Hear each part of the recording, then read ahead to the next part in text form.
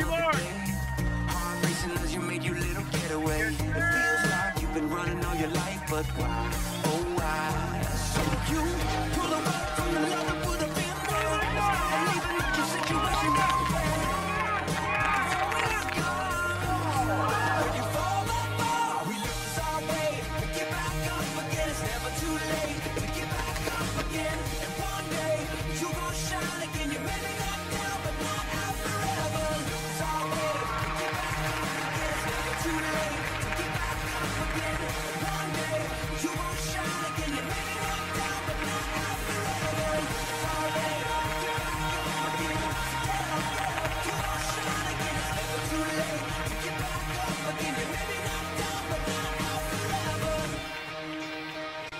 Trisha Van Berkel once said, Autism is not a puzzle nor a disease. Autism is a challenge, but certainly not a devastating one. Autism is about having a pure heart and being very sensitive. It is about finding a way to survive in an overwhelming, confusing world. It is about developing differently, in a different pace, and with different leaps. Autistic beings develop and bloom if their spirits, talents, and self esteem are not destroyed by bullies, prejudice, and being forced to be normal. Many autistic children are bullied in schools. Some autistic children are nonverbal, so they don't know how to tell anyone that they have been bullied in school.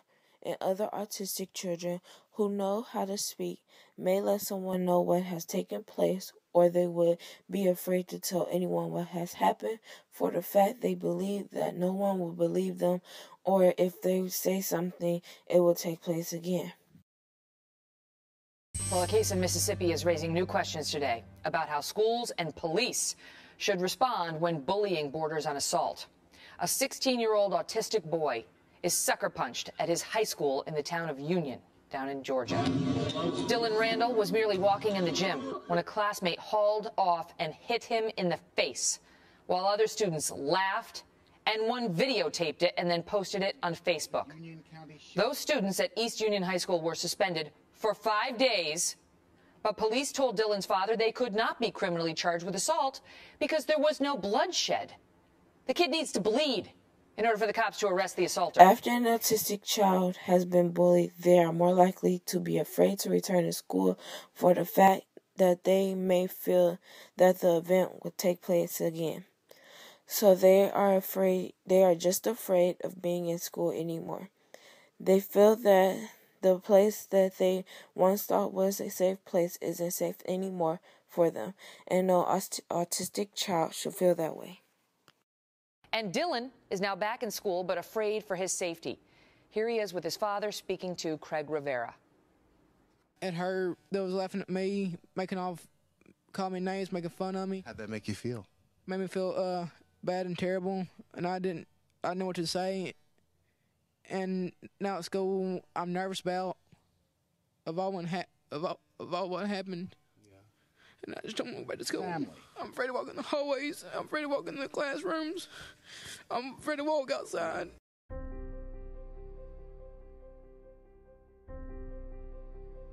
Many autistic children are bullied, as we all know. Um, how do you feel about them being bullied? How do I feel about it? I don't want anybody to be bullied, much less autistic children, but I don't think bullying is acceptable in any way. Okay. Uh, why do you think autistic children are bullied? I think that they're bullied probably, or targeted, I would say maybe more, um, because they're different in some way than what a general ed student might think that they should be. They sometimes, sometimes have behaviors that are different or think differently or react differently to different situations. And so I think that sometimes people think it's acceptable then to pick on them for those differences. Okay. Um,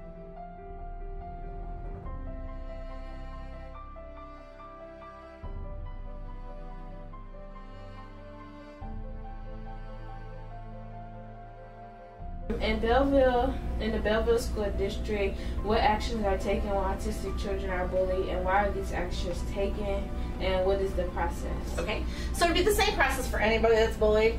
there is a form that students can fill out, or they can tell a teacher, or they can email a teacher, or a principal, or some adult in the building to let them know that there's bu- bullying happening. Um, and then there's an investigation that happens to see, you know, is it really bullying or is it something else? I don't know what else it would be, but it was bullying or not. And then um, discipline is then handled from there by the administrators. Okay. Um, and deeper of that, when you're saying that the children fill it out, um, if most autistic children can't speak or like write, but they are being bullied, how would you? How would that get addressed, or how would that happen? Many times, autistic students are with other people, so they kind of see what's going on. Um, especially in, in some of our more severe autism classrooms, there's adults with them kind of all the time, those students all the time. So they would be the ones that are intervening and talking and speaking for those students or other people. I mean, if you're in the hallway and see something happening, usually he would stop, or you know, somebody would stop and say, "Hey, don't do that," or "Hey, what's going?" You know. And again, in, in our high school, we're very lucky um, that our students are be, are, you know, all students are able to intermix together, lunchroom, those kind of things. So you all know each other in a lot of ways. You know which students are maybe in that class. You know. Out of 1,200 autistic children surveyed about being bullied, 63% of children were bullied in school by other students.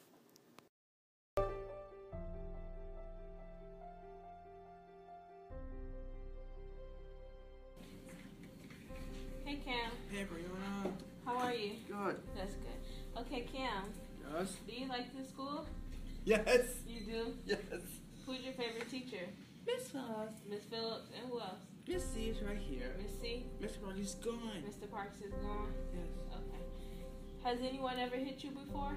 No. No, no one in this school hit you mm-hmm. before? That's good. Okay, thank you, Cam. Thank you. You're welcome. All right, you want a hug? Yes. Okay. Miss Phillips.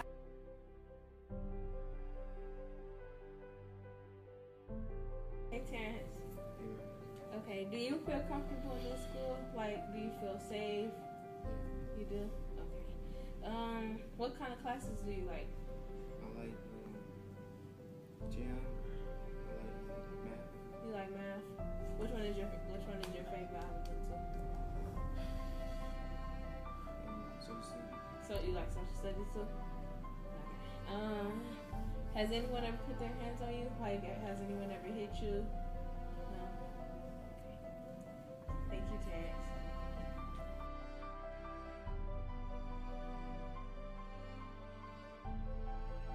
You? You're good. Yes. Okay. How do you like your new school? Yeah, it was good. It's good. Yes. Okay. Who is your favorite teacher? Miss Phillips. Miss Phillips. You like Miss Phillips? Yes. You do. Okay. Um, this year at this school, at Belleville High School, has anyone ever hit you? No. No, they haven't. Okay. What's your What's your favorite thing about Belleville High School? To eat lunch. You like to eat lunch. Yes. That's good. Thank you, Solomon.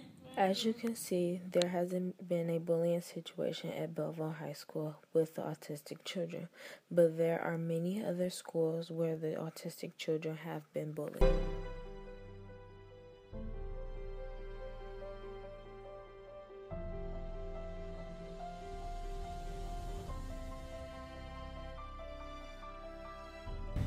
No, I, we haven't really experienced any bullying with any of my students, and mainly because I really tried to get them out, kind of with you know the general ed students, so that they are exposed to them, so that they're not afraid or they don't have any fears. They're just aware of the kind of students that are in this room and what they're dealing with. They're not like, oh my gosh, they're so different. No, they do a little bit of things differently, but because they're aware, they're also very protective. So they're protective and they're constantly watching over them. I sent one of my students on a task because I thought he could, you know, just run to the library real quick, which he could. But I had a random student who was probably not the best student in the school, saw him and grabbed him and ran him right back. It was, hey, I found him out in the hallway.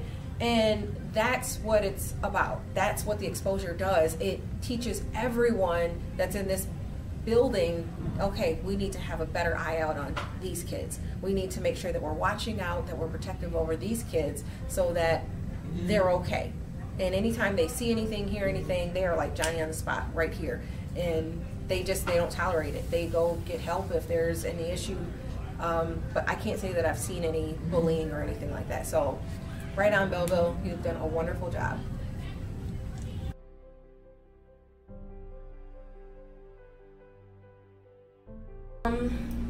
Think we can do to help stop bullying of autistic children, and how can we spread this around the world? I think we can too. I think it's more, uh, again, more of just teaching people what autism is. Um, I think the more comfortable you are with with anybody's ability or disability, then the more comfortable you are with dealing with it. I kind of think about it in the same way as you know sometimes we might not be comfortable necessarily with people in wheelchairs till we figure out that they're not any different than us other than they can't walk. Um, it's kind of same thing with autism. It's a medical diagnosis of things, and so learning how to deal with those kind of things. Um, and how can we spread it around the world? Yeah. Hmm, that's your guys' job to figure out. It's your job to help educate others. I know that you work pretty closely in that classroom or have worked in one of the classrooms we have at the high school, and so it's your job then to go and talk to people about their abilities, what their real real, real abilities are. Thank We can all take a stand to end bullying of autistic children. We can teach people about what autism is because many people may not understand that autistic children are different in many ways. We can also teach students that they are supposed to be the ones that are there for them to make them feel safe. Students who doesn't understand the difference can take a day or a couple of days out of their week and sit in a class with the autistic children to get to know them and let them know that we will always be there to protect them and not to harm them.